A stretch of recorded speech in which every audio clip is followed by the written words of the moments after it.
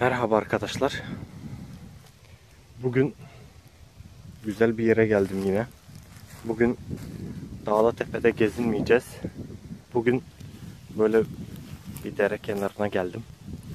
Şöyle göstereyim tarlaların olduğu bir yere geldim. Aradığım buydu zaten. O yüzden açtım videoyu. İşte siz de görüyorsunuz büyük bir ağaç. Peki diyeceksiniz ki bu ağacın defineyle ne alakası var? Şimdi böyle büyük ağaçları işte böyle elimi göstereyim ya da şöyle uzaktan çekeyim. Bu ağaçların ne anlama geldiğini söyleyeyim şimdi. Şimdi burada çivi izi arayacağım.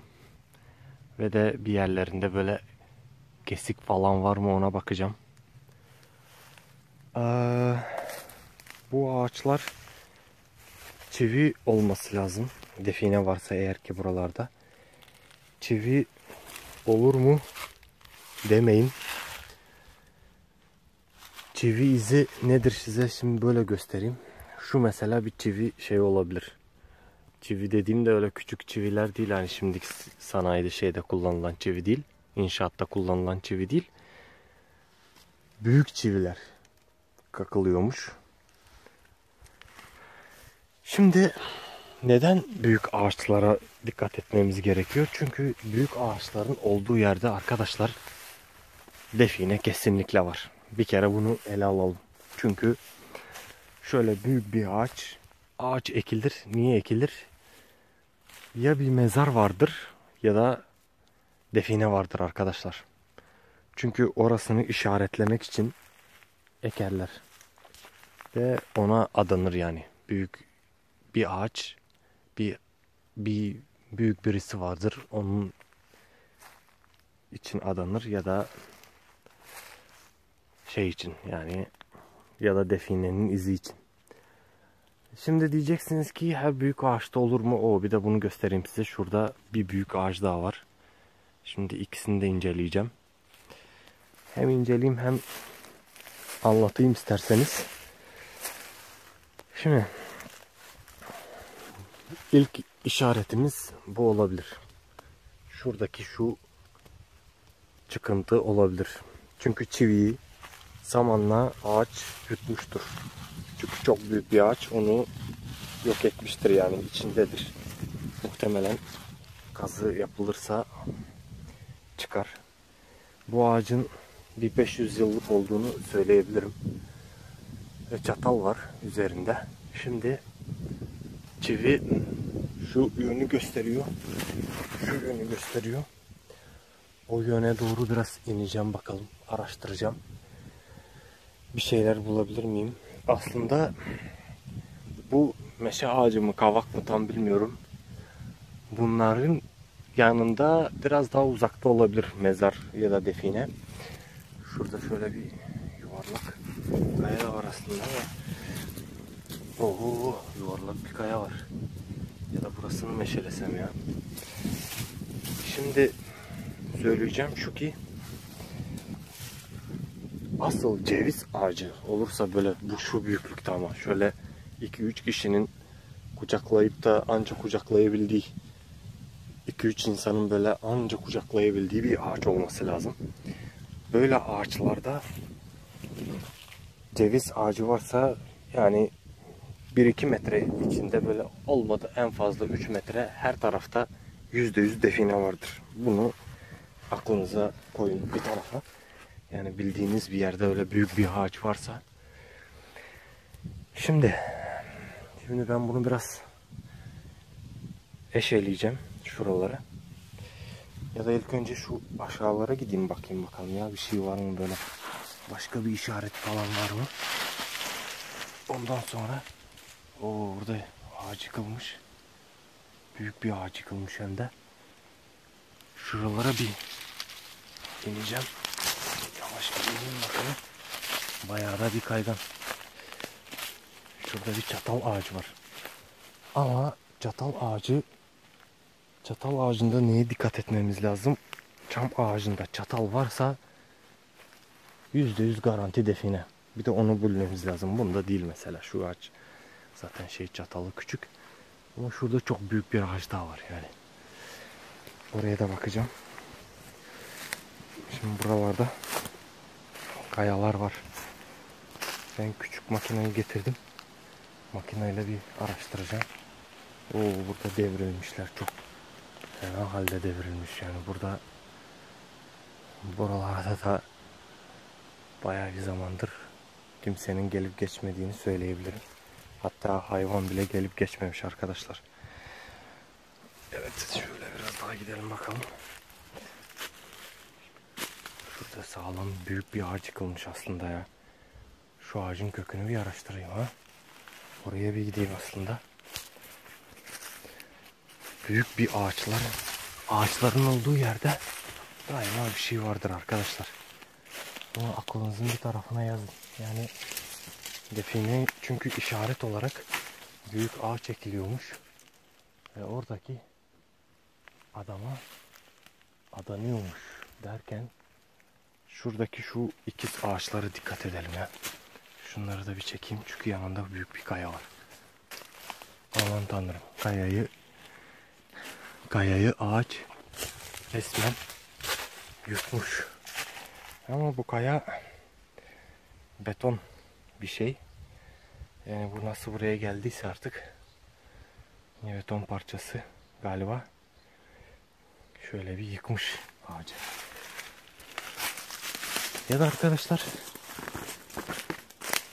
ben o ağacın kökü burada ya. Ağacın kökü burada ve galiba bir çalışma da yapılmış ya da şuradan bir çekeyim. Çalışma yapılmış işte görüyorsunuz. Güzel bir tek tekçiler şuraları bir eşelemiş. Güneş var güneşten de bir şey tam görünmüyor ama şuradaki toprağın rengi zaten burada bir şey olup olmadığını gösteriyor yani bir şeyler gömülmüş yani buraya ama yüzde yüzde alınmış çünkü bayağı bir eşelemişler biraz daha ileri gideyim. Asıl şu büyük ağacı görmek istiyordum ben ama kökünü. Nereden gideceğim oraya ya? Şu derenin tam altına ineyim ya. Arkadaşlar en iyisi gideyim. Derenin altına tam ineyim. Bakalım. Oradan görebileceğim mi? Ya da o ağacı mı şey yapsam bilemedim ya. Çünkü o ağaçtaki o çıkıntı var ya o dal kırılması bir şey değil. Yani yüzde yüz yüzde yüz bir çivi varmış büyük bir çivi varmış. Ve o çivi onu ağaçta o çiviyi işte bakın göstereyim yine çiviyi yüzde yüz şey yapmış içine almış çünkü yoksa bu çıkıntı böyle bir çıkıntı olmaz şimdi dedektörle geldim ama. Şöyle üstünde bakalım. Bir yerlerinde bıçak izi var mı ama güzel bir kesinti bir şey olması lazım. Bir işaret olması lazım. Nasıl işaret arıyoruz diyorsanız ağaçlara V işareti yapıyorlarmış. Roma rakamıyla 5 yani V işareti. Ama o işaretin de 7'ye denk geldiğini biliyorum eski şeylerde, zamanlarda. 7 anlamına geliyor. Yani 7 adım. 7 bir şeyler yani 7 arşında olabilir. Yani 7 ile alakalı bir şey olduğunu biliyorum. Şimdi şu kayayı şu yuvarlak kayayı aslında onu eşelesem mi ama bunu eşeleyeyim ya. Eşeleyeyim bir dakika. Evet.